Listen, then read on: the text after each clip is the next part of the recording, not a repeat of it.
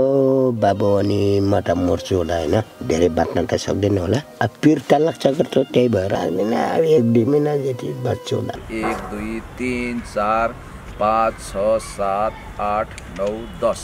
तपाईँ मार्फत भेलु बाजेसम्म तपाईँहरू मार्फत यो पैसा पुग्नेछ म ढुक्क छु अ, धेरै धेरै धन्यवाद दिन चाहन्छु। पुण्य गौतम दाई आदरणीय दाईले भेलुबाजेको उपचारमा कमी नआओस् र भेलुबाजे जतिसम्म बाँच्नुहुन्छ उहाँ राम्रो तरिकाले बाँच्नुपर्छ भन्ने हेतुका साथ यो जुन सहयोग दस हजार रुपियाँ भेलुबाजेलाई गर्नुभएको छ यो सम्बन्धित ठाउँमा पुग्नेछ। म यो विश्वस्त तपाईँलाई विश्वास दिलाउन चाहन्छु। मौका मिल्यो भने छोरोको अङ्ग प्रत्यङ्ग बेचेर खान्छ अरे। फोक्सो बेच्न सक्छ मृगला बेच्न सक्छ रगत बेच्न सक्छ भ्याम्पायर जस्तो रगत खान सक्छ। आफ्नो सन्तानलाई बर्बाद बनाएर सिद्ध्याएर बाँच्ने छोराको कमाइ खाने मात्रै होइन छोरालाई समाप्त पार्ने। त्यस्ता पिताहरू पनि मैले देखेँ मार्केटमा।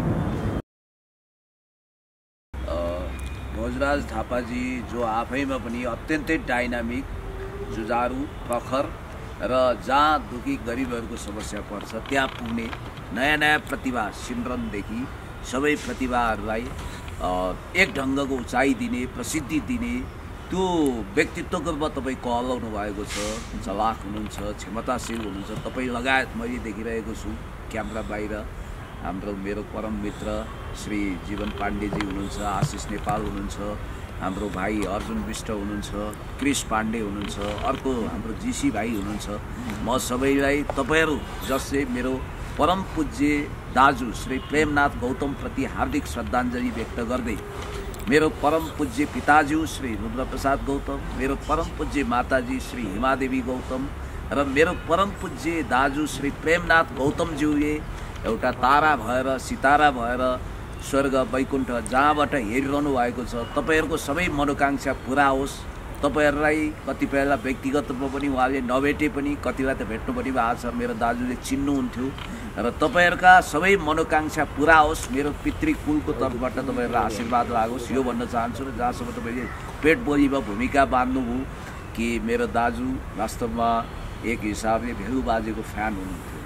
उहाँ बिरामी अवस्थामा पनि मैले बेला बेलामा भेलु बाजेको लगाइदिन्थेँ। कहिलेकाहीँ भन्नुहुन्थ्यो यो के अलिकति मामुवाला त अब त्यो स्वाभाविक थियो मन पर्दैन होइन? अरू चाहिँ असाध्यै मन पराउने उहाँले। र तपाईँलाई पनि धेरै नोटिस गर्नुभयो भोजराजजी तपाईँले खास गरी सिमरन बहिनीलाई ल्याम्पलाइटमा ल्याइसकेपछि त्यो अग्लो भाइ अग्लो भाइ चिया खान बोला न भन्नुहुन्थ्यो। कृष्ण कणेलको पनि फ्यान उहाँ। होइन? लोकदोहोरीको पारखी। पाण्डव सुनुवार भन्ने बित्तिकै रोदी भन्ने बित्तिकै र देहावसान हुने दिन पनि उहाँले एक झलक रोदी सुन्नुभयो। मलाई आशीर्वाद दिनुभयो। अहिले पनि म सम्झिन्छु। र पूर्वपट्टि श्री सूर्यनारायणपट्टि मुगुडा फर्काएर कुर्सीमा बस्नुभएको थियो। एउटा भाग्यमानी धार्मिक मान्छेको प्राण जसरी जान्छ हुन त अल्पायुमा पनि भन्न मिलेन मध्य आयुमा जानुभयो छप्पन्न सत्ताउन्न वर्षमा। तर उहाँले मलाई अब उहाँले तिहारमा दसैँमा जो आशीर्वाद दिनुभएको थियो प्रधानमन्त्री मन्त्री भनेस् त उहाँले भन्नुहुन्थ्यो मलाई सधैँ त्यो भन्नुभयो। मलाई लाग्यो उहाँ गहिरो निन्द्रामा सुत्नुभयो तर चिर निन्द्रामा सुत्नु भएछ एकैछिनमा उहाँ ब्रह्मलीन हुनुभयो खैर। उहाँका यादहरू उहाँलाई हार्ट एट्याक भयो। अँ, उहाँलाई माइनर हार्ट एट्याक भएको थियो अपरेसन गरेको। र भोजराजजी तपाईँलाई मैले स्पष्ट भनौँ मैले आफ्नो पोलिटिकल करियर र दाउमा लगाएर मैले त्यो बेला टिकटको लागि दौडिनु पर्थ्यो होला के पर्थ्यो होला तर मैले दाईलाई टोइलेट बाथरुम लाने नुहाइदिने खुवाइदिने यो काम गरेर म करिब करिब दाईको सेवामा म र मेरो मिसेस हामी चौबिस घन्टामा नसुती नसुती चौध पन्ध्र घन्टा खटेर दाईको सेवा गरेकै हुनाले मैले आफ्नो करियरबाट पनि अलिकति हात धुनु पऱ्यो खैर अब यी कुराहरू आफ्नो ठाउँमा छँदैछन्। तपाईँहरूलाई मेरो पितृको आशीर्वाद लाग्छ। र तपाईँले भेलु बाजेलाई जसरी रेस्क्यु गर्नुभयो उद्धार गर्नुभयो भोजराज थापाजी लगायत तपाईँ पत्रकार मित्रहरूले यो महान काम हो। यो महान कामको आशीर्वाद अवश्य पनि मिल्नेछ। किनभने भेलु बाजेलाई धेरै दुरुपयोग गरे धेरै प्रयोग गरे फेममा ल्याएर मामुवाला शब्दहरू बोलाउने अन्टसन्ट बोलाउने यतिसम्म फन्टुस प्रश्न गर्ने तपाईँ ठुलो कि प्रधानमन्त्री ठुलो भनेर उल्लु बनाउने जो काम गरे त्यो प्रवृत्तिलाई चिरेर तपाईँहरूले मूलधारलाई पनि चुनौती दिएर जसरी उहाँलाई काठमाडौँ ल्याएर उपचार गर्नुभयो छोरो पछिको छोरोको भूमिका निर्वाह गर्नुभएकोले भगवान्को कृपा दृष्टि हमेसा तपाईँहरूलाई परोस् म आशीर्वाद दिन्छु। अच्छा हामीले उहाँको मिसयुज होला भनेर हामीले अस्पतालमा गएर यो पनि यो भिडियो बनाउन सकिन्थ्यो तर हामी त्यो गरिनौँ। किनभने हामीले पहिले मैले पहिले नै मैले लेखिसकेको पनि थिएँ होइन? अस्पतालमा गएर त्यसरी हामीले उपचारलाई प्रभावित हुने किसिमले भिडियो बनाउने छैनौँ भनेर होइन? त्यो हिसाबले पनि हामी अस्पतालमै गएर पनि यो भिडियो बनाउन सकिन्थ्यो तर हामी अस्पतालमा गएका छैनौँ। सहयोग उहाँले गर्दै हुनुहुन्छ। यो सहयोग मैले लिँदैछु र भिडियो मार्फत नै तपाईँलाई देखाउनेछु। म भेलु बाजेलाई दिएको पनि भिडियो म तपाईँलाई देखाउनेछु। एउटा काम गरौँ न। ग्रिन सिटी हस्पिटलका आदरणीय प्रमुख व्यक्तित्व हुनुहुन्छ श्री लोकबहादुर टन्डनजीलाई पनि। मरि मरि धन्यवाद छ। जसले। उपचार गरिरहनु भएको छ। तर निशुल्कको मतलब यो होइन कि उहाँलाई एक पैसा चाहिँदैन भन्ने होइन। म चाहन्छु भेलु बाजेको एउटा सानो जीवनको बन्दोबस्त होस् जति बाँच्नुहुन्छ सुख। शान्तिले बाँच्न सक्नुहोस्। त्यसमा तपाईँहरूले जो सतत प्रयत्न गर्नुभएको छ छोरो पछिको छोरो बनेर त्यो धेरै महान काम छ। अब कति पनि विलम्ब नगरिकन मैले धेरै त सकिनँ। काजक्रिया गर्दा मेरो खर्च भयो। अब यो यहाँ सुनाउने विषय त होइन। धेरै मलाई ऋण पनि लाग्यो। तै पनि मेरो परम पूज्य दाजु श्री प्रेमनाथ गौतमज्यूको आत्माले शान्ति पाओस् भन्दै उहाँ जसको फ्यान हुनुहुन्थ्यो आदरणीय भेलु बाजेज्यू जो आफैमा एउटा प्रतिभा हो फेरि अद्भुत व्यक्तित्व हो। यो कुरामा नो डाउट किनभने पढे लेखेको छैन। तैपनि उहाँले हेर्नु त ग्रामीण जीव जनजीवनको शब्दहरू टिपेर सम्भवतः रिलमा त उहाँको एट्टी पर्सेन्ट नै कब्जा छ भन्दा हुन्छ। र यहाँका सेलिब्रेटीहरूले पनि उहाँबाट पाठ सिक्नुपर्ने गरी उहाँले आफ्नो स्टारडम जमाउनु हो। तर हेरिदिने त कोही हुँदो रहेछ नि दुःखमा साथ दिने कोही छैन। त्यसकारण उहाँलाई तपाईँहरूले अरूले मिसयुज गरे तपाईँले उहाँलाई तपाईँहरूको टिमले उद्धार गर्नु हो उपचार गर्नु हो यो धेरै महान काम हो। यस्तो महान पुण्यको काम तपाईँहरूबाट हुँदै गरोस्। र म दस हजार रुपियाँ हस्तान्तरण गर्न चाहन्छु। एक दुई तिन चार पाँच छ सात आठ नौ दस।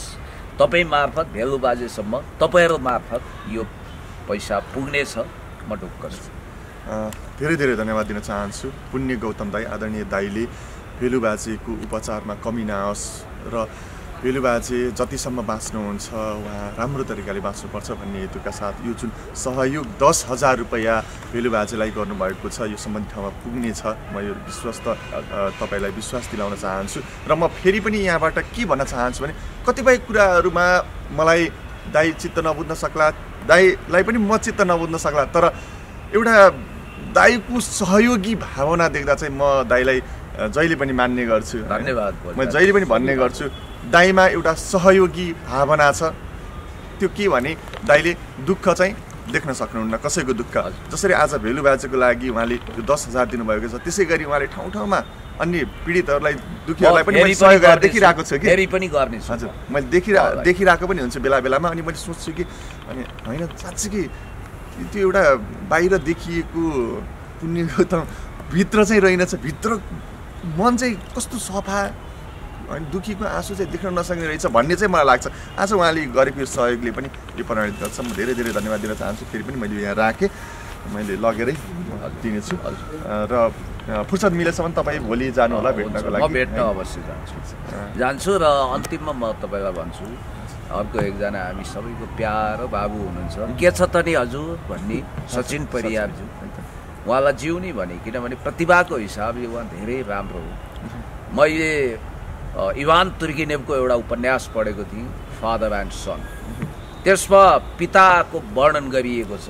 इभान तुर्गिनेव जो विश्व प्रसिद्ध साहित्यकार हुनुहुन्छ उहाँले नोबल पुरस्कार त पाउनु भएन तर उहाँको एउटा कथन छ पिता तिन प्रकारका हुन्छन्। एउटा उत्तम पिता अर्को मध्यम पिता अर्को अदम पिता। उत्तम पिता जो परिवारको आफ्नो छोराको आफ्नो सन्तानको फ्युचरको लागि आफूलाई जलाइदिन सक्छ। एउटा लालटिन मैन्टल आफू जल्छ र तल आफू अन्धकारमा हुन्छ तर दुनियाँलाई प्रकाश छर्छ। त्यो उत्तम पिताको सन्तानले कहिले पनि दुःख पाउनु पर्दैन। ऊ गिटी ढुङ्गा बोकेर होस् जे गरेर होस् आफ्नो सन्तानलाई राम्रो फ्युचर दिन्छ। अर्को मध्यम पिता एन केन प्रकारेण अर्को पड्को तेलको गर्दैछ खाँदैछ अलिकति कमाउँछ म पनि कमाउँछु आदि इत्यादि त्यो ठिकै खालको अहिले एभरेज मान्छेको पर्छ। अर्को अधम पिता। त्यो अधम पितालाई कसरी वर्णन गरिएको छ भने हाम्रो शास्त्रमा पनि त्यसको बारेमा डिक्लिरेसन छ वर्णन छ भोजराजजी तपाईँलाई पनि थाहा छ। त्यो चाहिँ मौका मिल्यो भने छोरोको अङ्ग प्रत्यङ्ग बेचेर खान्छ अरे। फोक्सो बेच्न सक्छ मृगला बेच्न सक्छ रगत बेच्न सक्छ भ्याम्पायर जस्तो रगत खान सक्छ। आफ्नो सन्तानलाई बर्बाद बनाएर सिद्ध्याएर बाँच्ने छोराको कमाइ खाने मात्रै होइन छोरालाई समाप्त पार्ने। त्यस्ता पिताहरू पनि मैले देखेँ मार्केटमा। र तपाईँ सचिनको पिता पछिको पिता तपाईँ र कृष्ण कडेलज्यू भइदिनुहोस्। हुनुभएको छ। र आज तपाईँले गरेको एउटा घोषणा मलाई मन पर्यो कि हामी कसैबाट सहयोग नउठाइकन सचिनलाई मद्दत गर्छौँ। सचिन मेरो पनि एउटा पुत्र समान हो। म उसलाई आई लभ सो मच म धेरै माया गर्छु र उसलाई सहयोग पनि गर्न चाहन्छु। यद्यपि क्यामेरामा देखाउँ नदेखाउँ त्यो डजन्ट म्याटर तर तपाईँले जे गर्नुभएको छ तपाईँहरूबाट एक्सपेक्टेसन गरिएको कुरा के भने अब सचिनको सुस्वास्थ्य दीर्घायु र सुशिक्षा। राम्रो शिक्षा दिलाउने कुरामा तपाईँहरू अगाडि बढिरहनु भएको छ र म कसैप्रति लक्षित गर्न चाहन्न अब पिता जब योग्य पिता हुँदैनन् भने कोही दोस्रो व्यक्ति नै पिताको भूमिकामा रहेर जैविक पिता नभए पनि बायोलोजिकल फादर नभए पनि मेन्टर बनेर उसले एउटा सामाजिक मानस पिता बनेर निर्वाह गर्नुपर्छ र त्यो भूमिकामा तपाईँहरू हुनुहुन्छ र तपाईँहरूलाई धन्यवाद दिन चाहन्छु। म कसैको पनि खण्डन मण्डन गर्न चाहन्न व्यक्तिगत रूपमा पनि केही टिका टिप्पणी गर्न चाहन्न कसैलाई पनि म आलोचना गर्न चाहन्न। र तेजेन्द्र भाइलाई म यही सन्देश दिन चाहन्छु। कृपया प्लिज किप प्यासेन्स कसैले पनि आरोप प्रत्यारोप नगर्नुहोस्। छोरालाई सहयोग गर्नेलाई राम्रोसँग तपाईँ सम्मान गर्नुहोस्। र अर्को कुरा के छ भने मलाई दुःख लाग्यो। सचिनको ब्याङ्क ब्यालेन्स जिरो छ भन्दा। तपाईँले स्टेटमेन्टहरू पनि सबै प्रकाशित गर्नुभएको छ। तपाईँहरूको तर्फबाट उहाँले जति पनि ब्यालेन्सहरू लानुभएको छ त्यसको सदुपयोग हुनु पऱ्यो नि मैले यो अधिकार किन राख्छु भने म पनि सचिनलाई प्रसिद्धि दिलाउनको लागि केही अगाडि बढेको मान्छे हो र एउटा पछ्यौरी इस्यु जो एकतिस मिलियन भ्युजको सलामी खाएको ट्रेन्डिङमा परेको भिडियो छ त्यसमा हामी एउटै फ्रेममा पनि छौँ। बिचरा सचिनको यो अवस्था देख्दा कसको आँखामा आँसु आउँदैन? त्यसकारण खबरदार सचिनलाई जिउँदै मार्नेहरू अदम हुन्। यस्तो प्रवृत्तिबाट बस्नुपर्छ। र यो विषयमा तपाईँ पनि केही बोल्नुहोस् त्यसपछि हामी बिदा हो होइन सचिनको विषयमा तपाईँले पनि केही राख्नुहोस् न यति बोलिसकेपछि। अहिले म अहिले सचिनको विषयमा म किन बोल्दैन भने जस्तो केही चिज गरेर देखायो भने बोल्नुको मजा हुन्छ मैले स्ट्याटस लेखेको छु नि त। हामी फेरिमा नि शुल्क सहयोग गर्नेछौँ उपचार गर्नेछौँ सचिनको भनेर। मैले मन्त्रीजीसँग कुरा गर्नु छ यो विषयमा होइन? र अनि यो अझ क्लियर भइसकेपछि अब भोलि पर्सिसम्ममा क्लियर होला नि त यो कुरा। जब क्लियर हुन्छ त्यति बेला बोल्नुको मजा बेग्लै हुन्छ कुनै दाइ होइन। मैले जुन स्ट्याटस लेखेको छु त्यो स्ट्याटसमा म दृढ छु होइन। अहिले हामी भेलुबाजेको यो सहयोगको यो भिडियो बनाइरहँदा यो विषयतिर अलिकति नमोड्यौँ कि हुन्छ धेरै धेरै धन्यवाद एनी। मोर क्वेसन प्लिज पत्रकार साथीहरू केही छ भने जिज्ञासा राख्नुहोस्